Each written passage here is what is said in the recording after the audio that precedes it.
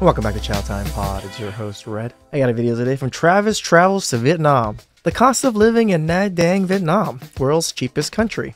Let's see. Please like subscribe down below. I really appreciate that. Let's get that chow. It's chow time. I'm not sure if this would be the world's cheapest country, but it's up there. If you live in a Western country, one of your main concerns is probably money. But in Vietnam, you don't even have to work that hard in order to have a great life. It's Let's one see of where the it does. cheapest countries to live in the entire world, but it's the quality of life you can have relative to the cost of living that makes it one of the best places to live, in my opinion. So today, I want to show you around Da Nang, Vietnam. I want to break down exactly what it costs to live here for a month. I think it's going to be a lot cheaper than you would even expect. So first thing I want to do is show you how we live here in Da Nang. So let's go check out my house. Renting a house or apartment is by far going to be your biggest expense. So you're looking at a range of about $300 a month on the low end to maybe $800 a month on the high end. For most people, four to $500 I pay 700 now rent at my place, so that's right in between that. a month is going to be more than enough for what you need. So we'll start with a quick little house tour. We'll see what we're kind of working with here. Oh, again, I live with my roommates and stuff like that, so don't take my you know housing price as the norm for California. The norm for a one bedroom apartment is like eighteen hundred to two thousand dollars. So For this place, I pay $600 a month, but it's a three bedroom house. Oh, nice. Close to the beach, maybe 10 minute walk from the beach. Simple kitchen, simple little living room place to hang out.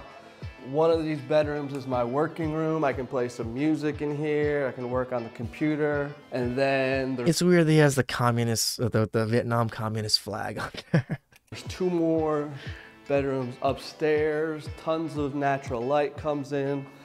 Nice balcony in the bedroom. The sunshine comes in early in the morning.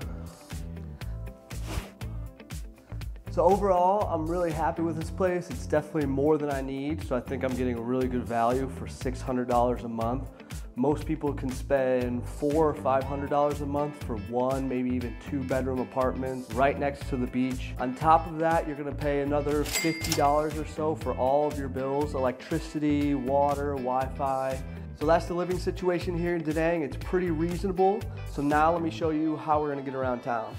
When you first arrive to Vietnam, you're gonna have to find a bike. Most people are gonna end up renting a bike. for I was gonna say you're gonna need a little matol, what's what we call it in Cambodia, or a little moped type thing. Those are the best for gas because gas prices in Asian countries are by the liter, and they're not cheap.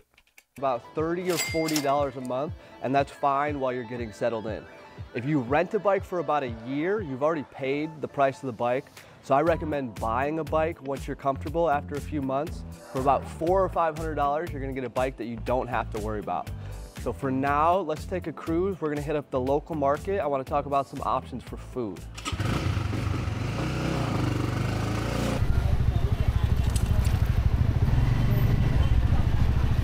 I love these street markets, guys. It's the best.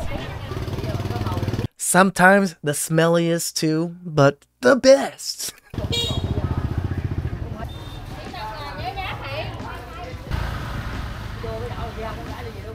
So the market is by far going to be the cheapest way to get groceries. You can see it's always super busy, it's always packed. The market has everything you need, fruits, vegetables, meats. It can be a little bit intimidating at first, but it's always fun to come to the market, talk to the aunties.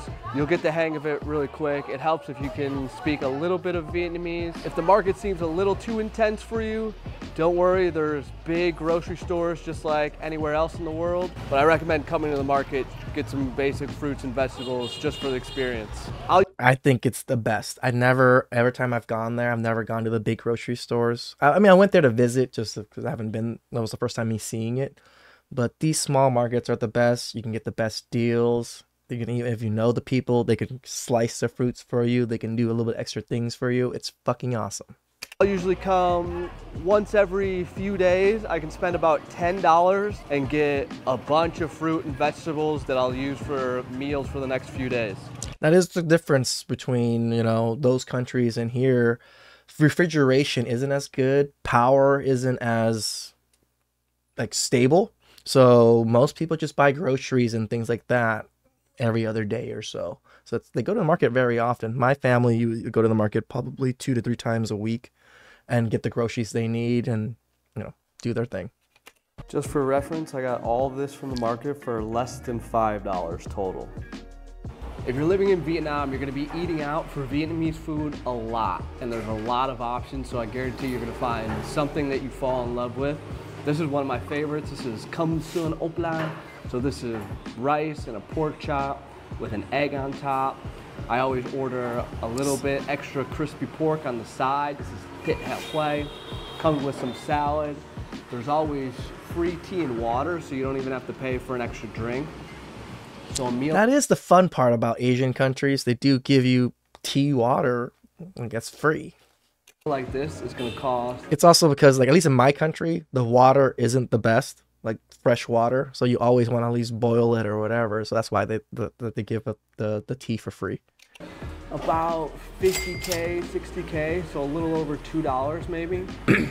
so Vietnamese meals will always run around maybe one to three dollars.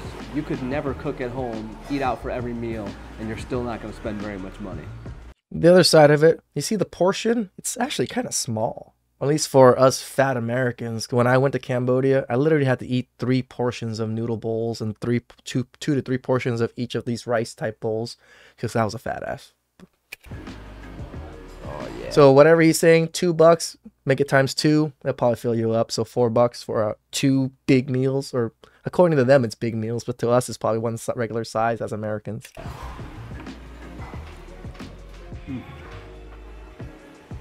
If you want to know more about Vietnamese food, I've got a lot of videos about different meals in Vietnam. So definitely subscribe to the channel. I'm super small, trying to grow, so appreciate your help. Thanks. Give the man some subscribe. He's, he's making great content, guys. This video is blowing up 50k, 500k views. That's why I was like, oh shit, I'm gonna support this man. Give him some more subs.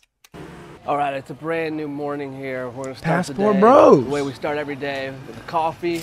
It's about 50 cents for a coffee and a mango My God, 50 cents for a freaking Vietnamese coffee. You know how much those shits are here? At least six to seven bucks. smoothie, about a dollar for a smoothie. Ooh. So I prefer getting it from the little corner sidewalk joints. So we're gonna get some of this rocket fuel in us and then we'll head back down to the beach. Oh yeah, and if you've never had Vietnamese coffee in Vietnam, it's actually even stronger than it is here. if you're gonna be living in a beach town, you're probably gonna wanna get fit, right? So the Vietnamese are super active, so there's a lot of options. You can't go very far in Vietnam without finding some dip bars or pull-up bars for free on the sidewalk or in a park. Nice. And you've also got a giant free pool over here. Now, if you're looking for a more serious gym, there's plenty of good options for that too. I go to this place, it's about $30 a month. It's probably the Normal nicest gym gym, membership. in Da Nang. It's got everything you can imagine, all the machines, all the weights. You I can don't see see any gym thoughts. every time I'm in there. Nobody goes to the gym. It's even got a little Definitely no gym area. thoughts. You can run on the track here. Free yoga classes. Super nice pool and sauna area. Even an ice bath. And this thing is serious cold. It's so nice. Another way I like to treat myself is called gội đầu. So gội đầu in Vietnamese means shampoo the head, but it's really more like a 30 minute head and neck massage. So it's only gonna cost about $2. So it's a great way to relax. Your hair will never be so clean in your entire life. It's the best $2 you'll ever spend. So one of the last things you might be worried about is going out for drinks and nightlife, stuff like that. Of course, you're gonna wanna have a few drinks on the weekend. Like everything else, drinking is cheaper in Vietnam than in Western countries. At local Vietnamese places, you can pay less than a dollar for a beer. If you're more comfortable with Western style bars and pubs, you might be looking at two or three dollars for a beer. That's right now, I'm having a big pint of beer for two dollars right on the beach. You can't really beat that. Of course, there's going to be more expensive clubs and fancy places on the beach where drinks will be a little bit closer to Western prices. But in general, should be doing all right. All right, so I think we've covered most of the basics. On average, let's say about $500 a month is gonna get you a good place to live. Let's add another 50 for your bills, utilities, things like that. Let's say another 50 is gonna be renting a motorbike and gas, stuff like that, no problem. The thing that might vary the most for people is gonna be food. You know, depending on where you're getting your food, And from the market or the are. grocery store and how often you're going out for food. But I'd say $200 a month is safe for groceries and going out for a few meals a week. Dude, that's like my budget for food a week here. Western food, for example, is always going to be three to four times the price of a Vietnamese meal. If you're going to be eating a lot of Western food, you're going to spend a lot more money. So I never suggest like that we have KFC and Good Burger or whatever in Cambodia too. Why would you guys go to fucking an Asian country and to eat fast food American stuff? Just eat the Asian food. Try it all out. Some you like, some you might not like. Some will probably fuck you up. So that brings us to about $800 a month. Another $200 a month might cover going out for drinks on the weekends, maybe a gym membership for 20 or $30 a month. So that's being pretty conservative, but I think it's pretty safe to say you can live for under $1,000 a month in Da Nang. If we're thinking about the other cities in Vietnam, Hanoi is going to be a little bit more expensive than Da Nang. I'd say maybe $1,200 a month will cover all the basics.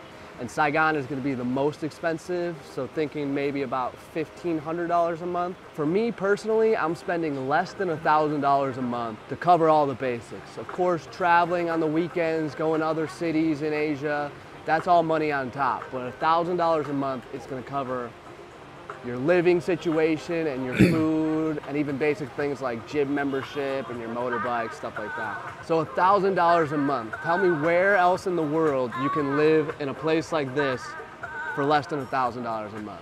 So that's a month, right, guys? So if you were to travel there for a month, you'll need at least about what? We'll just say twelve hundred dollars cash to cover the monthly expenses, but you'll need about you know a thousand, twelve hundred dollars to about two thousand dollars for the flight there for a round trip. So it's not too bad. That's a three thousand dollar, four thousand dollar vacation. You can have a wonderful vacation for that amount. So it doesn't take too long for most people to save you know, a few thousand bucks, but you can actually get to see the sights and see everything without having to invest a lot of money. You know, you get to experience the culture, experience the people, how different it is, and that's what I always push you guys to see. The difference. The difference. Imagine this guy. Why is he making videos about it? Why is he so like excited about it? Because it's so different. He's enjoying his life. He doesn't have to stress about money like we do in the US. What is the number one stress in the US? It's money. It's always been money, you know? And money is just so much easier to spend over there because a couple dollars here and there, you're not going to be too worried, right? But unless you have a remote job or you've, you've saved enough enough money, you won't be able to live this lifestyle for a long period of time. So work towards remote type jobs, work towards investment type things to be able to live there for long periods of time. I know a passport bro. He's actually my roommate's dad. Again, I talked about him. He only comes back from the Philippines only uh, February. He comes back in February for about two weeks to do his taxes and do a couple other things in the U.S. And then he goes back to the Philippines and he stays there for the rest of the year. You can do that, but he's retired. He has retirement money. You know, unless you're retired and have retirement money, it's harder to live out there. So again, remote jobs are the best choice. I don't think it exists. I think Vietnam's the best quality of life relative to price in the entire world. If you got any questions about living in Vietnam or traveling to Vietnam, leave a comment, hit me up, and I'll catch you in the next video over here. Shout outs to Travis. That's some damn good content. And he's not wrong. But there's also other options. There is Thailand, there is the Philippines. Those are probably the three countries I could think of. I don't always usually suggest Cambodia because we have one of the most corrupt governments in out of the the three countries, the four countries: Philippines, Cambodia, Thailand, and Vietnam. Cambodia is probably the worst government overall. It's generally safe for tourists. Uh, If you plan on like building businesses and things there, it might be a little bit tougher than most places. But this is why I don't really suggest Cambodia unless you know the place really well and that's the type of atmosphere you want to be in. So please subscribe down below. I really appreciate that. And I'll catch you guys next time. Ciao.